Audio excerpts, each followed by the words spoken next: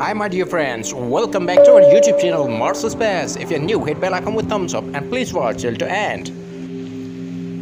Curiosity has to change its route. Unfortunately, it will not be able to continue exploring this area. The rocks, due to wind erosion, have acquired a particularly sharp and angular shape.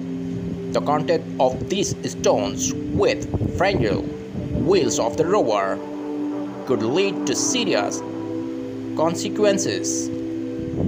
The rover therefore had to turn around 180 degree and retrace its safe path behind it. The map is dated 10th April 2022 R Sol 3440. The point at which it had to turn back at Sol 3420. Here are new pictures from NASA's Mars Perseverance rover. NASA's Mars Perseverance rover captured these images using its onboard left navigation camera photos captured on 6 May 2022 Sol Armation Day 430. If you like my video, hit thumbs up and don't forget to share to your friends. Stay connected with us. Thanks for watching.